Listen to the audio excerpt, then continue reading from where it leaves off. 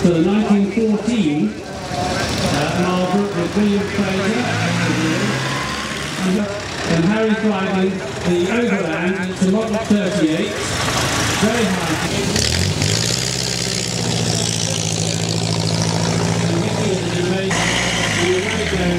the 85 competition bottles today. Alan Stanton, 1941,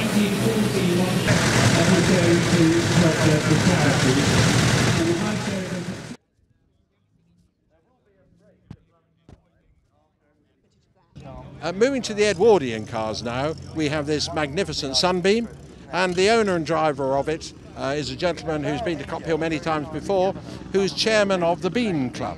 But today, unfortunately, we've had a minor mechanical problem. Yes, yesterday, the first run up, I don't think I had enough oil in the sump. I mean, all, enough oil for ordinary motoring, but not for the hill. And I've run number three big end, I suspect. So we've been stopped from uh, that stops the fun for the weekend. But uh, as you say, I've been every meeting it's had.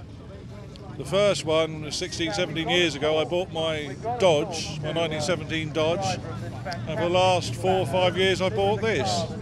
Well, it's, it's a well known car at the hill, and is it repairable relatively easily? Yes, if it is a big end? Yes, if it, I, hopefully I haven't driven it far enough to do too much damage. It is repair. Everything's repairable because if it's been done before, it can be done again, which is why there's more than one pyramid. Well, we hope to see you again next year uh, with a complete set of new Oh big well, ends, next hopefully. year I might be bringing a, another car actually, an even more interesting car. We will wait with interest to see it. A 10 litre Pope Toledo, Wow. 1904. And as you can see, it's Tony Lee's taking the buck we get from the flag. And bear in mind, this is nearly 100 years old.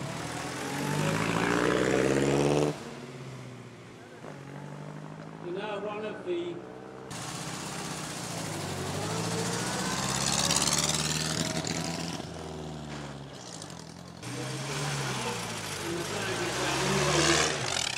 as you can see, two speeds, either go and faster.